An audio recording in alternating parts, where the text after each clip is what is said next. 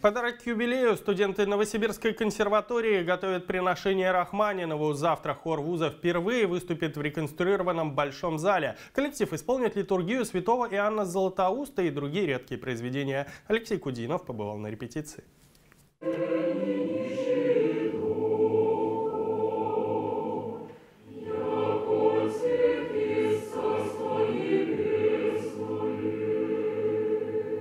У Сергея Рахманинова лишь два больших акапельных произведения для смешанного хора «Всеночное бдение» и «Литургия святого Иоанна Златоуста».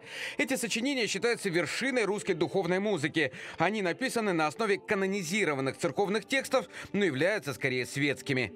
Когда прошла премьера, а, те священнослужители, которые были в зале, они сказали, что это, конечно, не э, церковная музыка. Вот. Э, по одной причине, что это слишком эмоционально, это слишком ярко, это слишком личностно, это такое прочтение как бы Рахманиновым церковных текстов.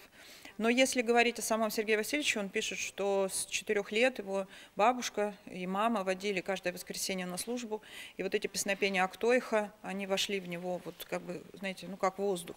Литургия святого Иоанна Златоуста – попытка передать музыку, знакомую с детства. Очень личное высказывание Сергея Рахманинова. Сочинение впервые было исполнено в России незадолго до Первой мировой. После революции духовная музыка композитора в стране почти не звучала. В репертуар профессиональных коллективов литургия вернулась в конце 80-х. завершение юбилейного года Сергея Васильевича Рахманинова мы решили сделать такую мощную, интересную программу. Это ну, достаточно сложное произведение, но вот силами нашего хорового коллектива, наших студентов, а, в этом акустическом, новом акустическом пространстве мы как бы намаливаем этот зал.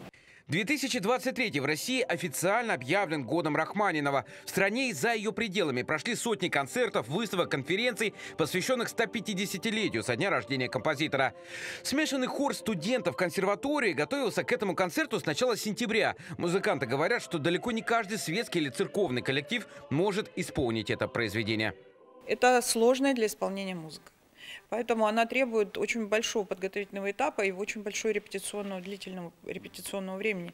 У церковных хоров по части просто нет этого времени. И э, комплектация хоров может быть недостаточной, потому что это для басов профунда, это очень низкие, самые низкие басы, каких нет в Европе. Это сразу отличает нашу культуру от европейской. Это такой фундамент звучащий, да, это такой звучащий храм да, на сцене.